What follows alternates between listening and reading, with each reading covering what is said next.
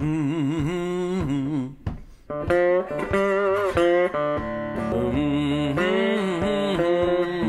ist die Ruhe, es ist die Eleganz und es ist der ganz persönliche Antrieb, etwas völlig Neues zu lernen. Klar, es ist ein langer Weg vom ersten Schnupperkurs bis zur Platzreife, aber das Ziel, das ist klar. Ende Sommer will ich beim richtigen Golfturnier am Loch stehen.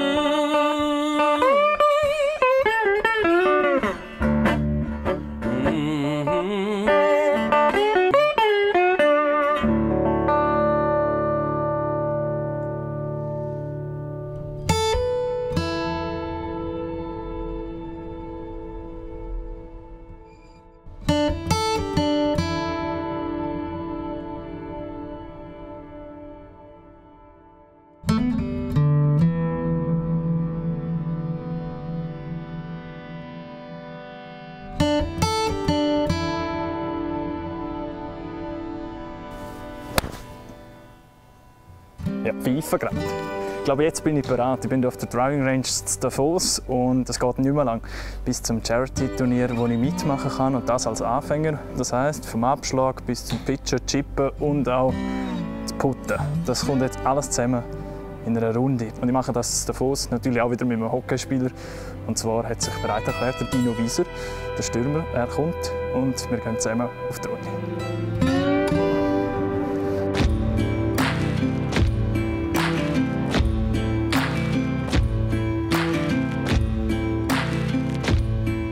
Ciao Dino. Ciao Lars.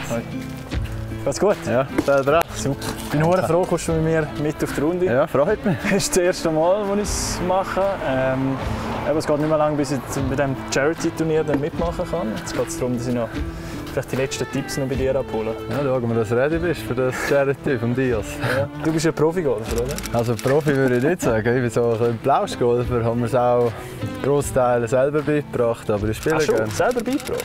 Ja, eigentlich, äh, wir haben hier Platzerreife haben wir im Schnelldurchlauf können machen. Und dann äh, sind wir einfach auf den Platz und haben es selber ein bisschen beigebracht. Und das zeigt auch, dass ich äh, auf der Links spiele. Ich bin eigentlich Ja. falsche Seite, spiele so, wie ich Hockey spiele. Und jeder, jeder Golftrainer sagt ich soll wechseln, weil ich alles mit Kraft mache. Aber so, es Da habe ich geht. jetzt ein paar Spieler getroffen, die wo Schon, so gell? spielen, Bin sie nicht der Einzige. spielen, Oder? Und ich spiele auch Unihockey links, aber mir hat der Golfpro gesagt, nein, du spielst rechts. Und Ja, das, das war aber ein guter Tipp. Ja, dann äh, legen wir los. Oder? Ja. Machen wir mal das erste, das erste Loch. Gehen wir, ja? Here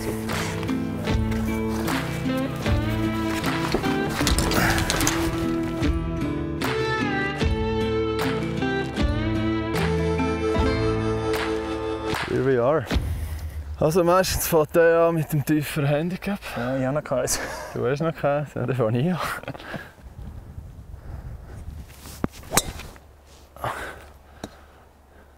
Schön, schau mal den Bogen. Ja, den nehme ich. He? Super. Also so weit komme ich sicher nicht. Jetzt kann ich du Haare blamieren.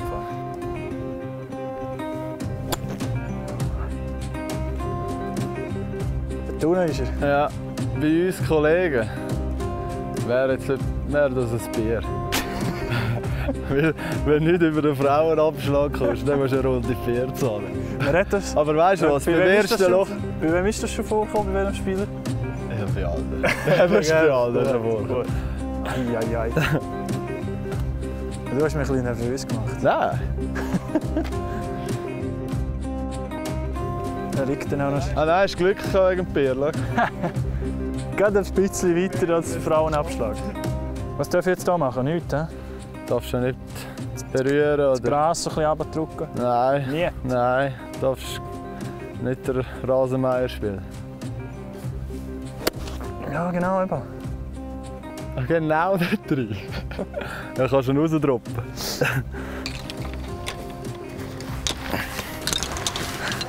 Magst du dich noch erinnern an deine erste Runde? ja, ich wollte es gerade sagen. So hat es auch ausgesehen. Ja, schon. Ja, ja. Eben, gell.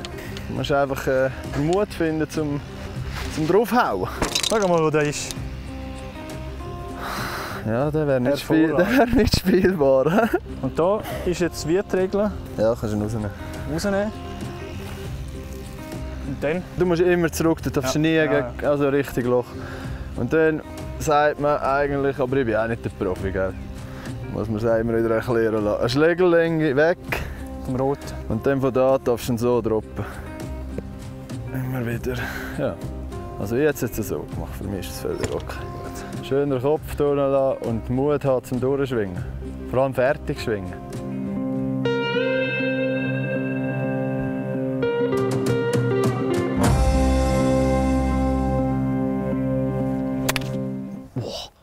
Wow.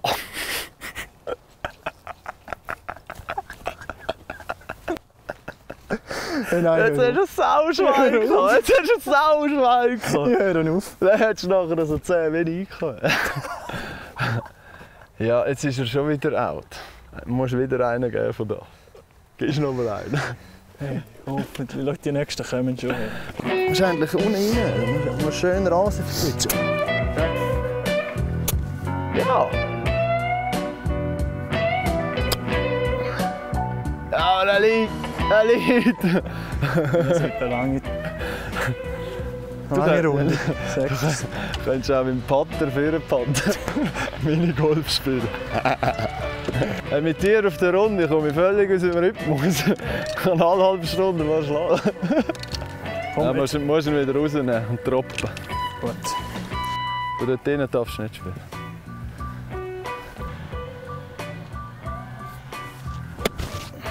Wieder geköpft. Das, Hast du ihn wieder geköpft? ja, das habe ich noch nie gehabt. Schön unten rein. Oh, die Schläge hast du gezählt. Ja, jetzt habe ich auch gedacht. Hä? Das ist, glaube Eins. ich, Na noch gut, du hättest wahrscheinlich schon gestrichen. Ja. Es würde wahrscheinlich gar keine Punkte mehr geben. Du hast einen Strafschlag, zwei. Ja. Dritt, dorthin, Strafschlag, vier. Fünft. Ah, jetzt kommst du zum sechsten. Und stehst auch so breit, als hättest du den Wolf zwischen den Beinen. Weiss. Biss. ja, der hat wieder gut ausgesehen.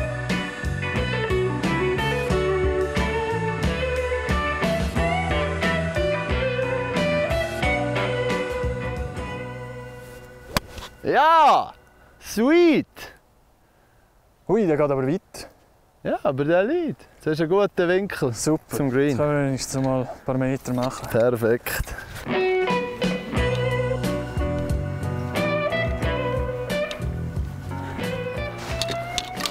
So, ja. Das darf ich auch wieder einmal.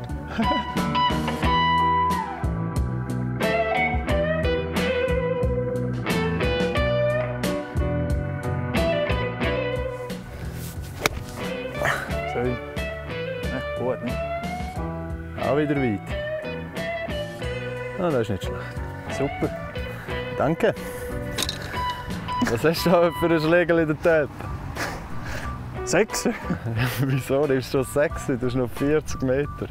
Wer hat dir den Kabis erzählt? Oder willst du noch anrollen lassen? Was soll ich willst du ihn schon in die Luft bringen? Ja, schon jetzt in die Luft, oder? Ich würde es essen. E- äh, Nein, nimm ein P. Nimm ein P. Okay, bitte. Ja. Gut. Ziehst du ihn mal voll durch. Einfach mal voll. Voll. Einfach nicht köpfen. Schön unten rein. Ja, der geht.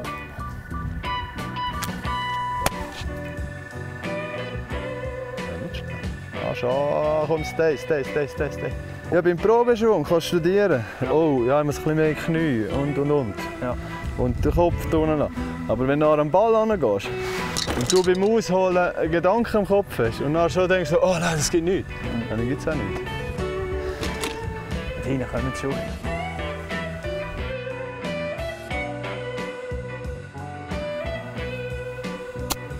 Ah ja, sweet. Tipptopp. On the dance floor. Ja. Nicht zu weit. So, jetzt mal schauen, wie der Dino pattet.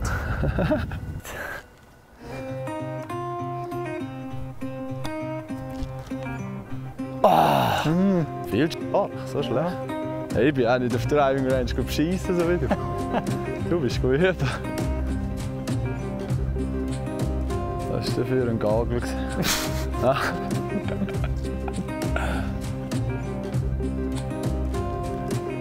ah! Oh ja.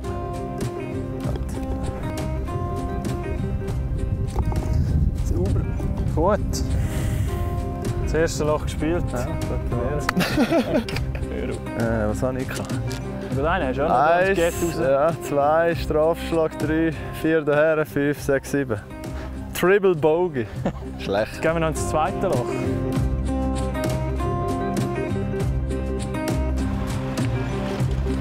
So, das zweite Loch. Ja, Paar drei. 120 Meter. Was nimmst Ja, mit dem Sexy. Im Ernst? Da komme ich dann vermutlich zu weit. He? Ja, wenn, wenn du so triffst wie bis anhin, dann bist du nicht so weit. dann ist Sechste nicht so schlecht. Uh, der geht mir wahrscheinlich. Ja, nichts passiert. Nicht passiert. Gut. Nein, das kann es nicht sein. Ja. Ein Lied? Also auf der Driving Range ist mir das nie so passiert. Ja. Ich weiß Ja nicht. gut, aber das ist meistens so. Ist wenn, einfach- wenn du auf der Driving Range spielst, triffst du die Bälle, wenn du auf dem Platz bist, ist es einfach anders. Das ist immer so. Ja. Jetzt kannst du noch, kannst du noch sendeln. Hätte ja müssen kommen, oder? Jetzt kannst du zeigen, was du vorher gesagt hast, Ja, noch. du wieder reinklebst.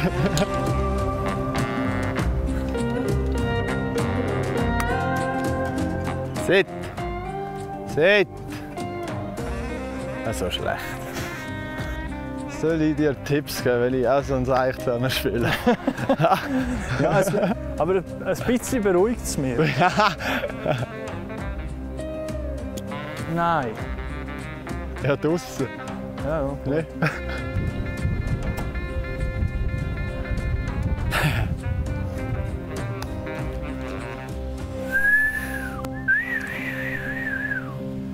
ja gut. Ja. Wieder ein bisschen fest wie vorher. hä? Das ist so schlecht. Komm, gehen, gehen, gehen, gehen, gehen. Ja, kann man gehen, oder? Den haust du rein.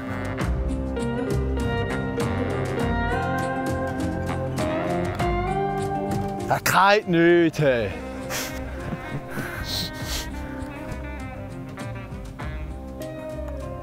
Ich muss noch Gut, machen, hä? ja, du musst. Sonst kann ich das Portemonnaie führen.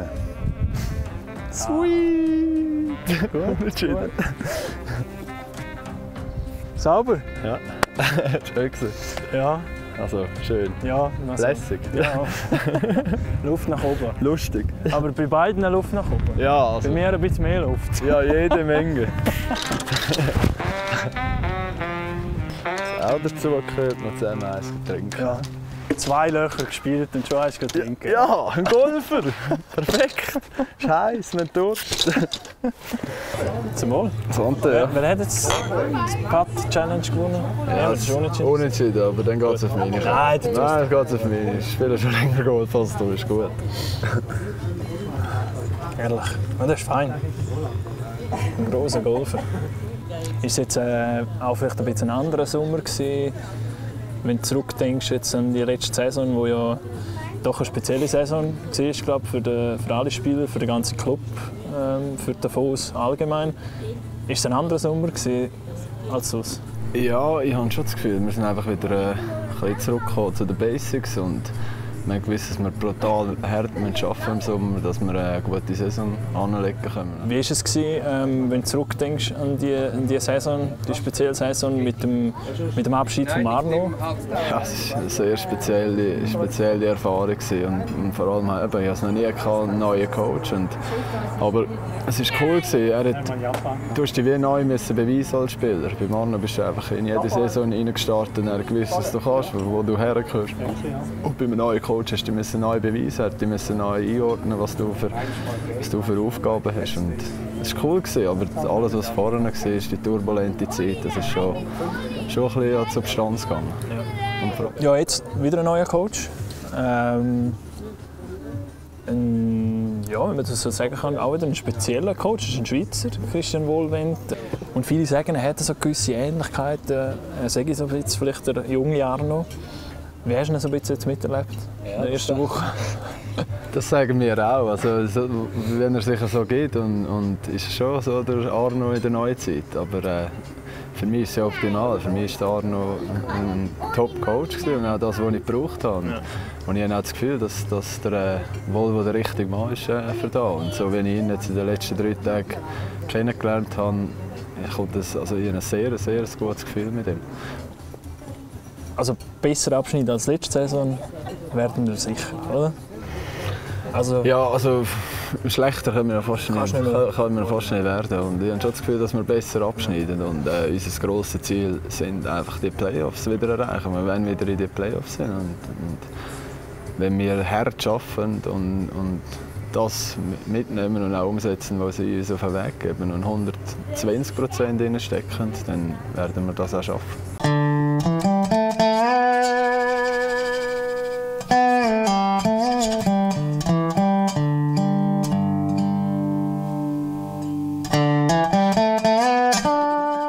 Das ist jetzt, also gesehen, die zwei Löcher mit dem Dino.